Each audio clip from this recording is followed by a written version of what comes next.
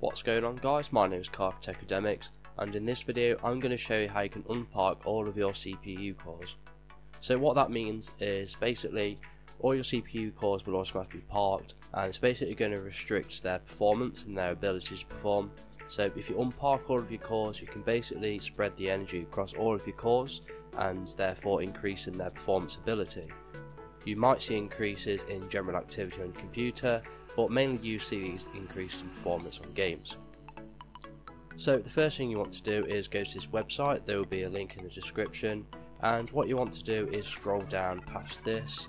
Um, this is basically images of how the system works, sorry the software, how it works um, and you get this download application here. What you want to do is click on that and before you actually download it you will need a zip file uh, extraction software such as WinRAR or 7-zip so in the card in the top right hand corner there will be a video there uh, showing how to download one of them software extractors. Okay, so once you've got your software, what you want to do is save this file onto your computer, and I already have it downloaded so I'll see you at the desktop. Okay, so once you've downloaded the file, it will look like this. It is a WinRAR file. So we're going to right click it and click extract here. So that's basically going to extract the file onto the desktop into a normal folder. So when we click into the folder, we will have a number of other items. So these items are basically designed to allow the actual application to run, but we want to click on this one here and it will ask you for permission, click yes, and it will look like a little box. So it's a very simple program. And then you want to click on check status. Now this can last for as long as 30 seconds 10 seconds or up to a minute or two depending on how fast your computer is. So just let it load and let it do its thing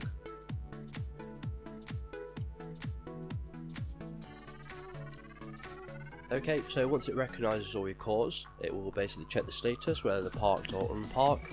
Like say, mine are currently parked here by default, so what you want to do is click on this button here, which says unpark all, and like I said, it does what it says, it unparks all of your cores. Yet again, this might take a minute or so, just so just let it load.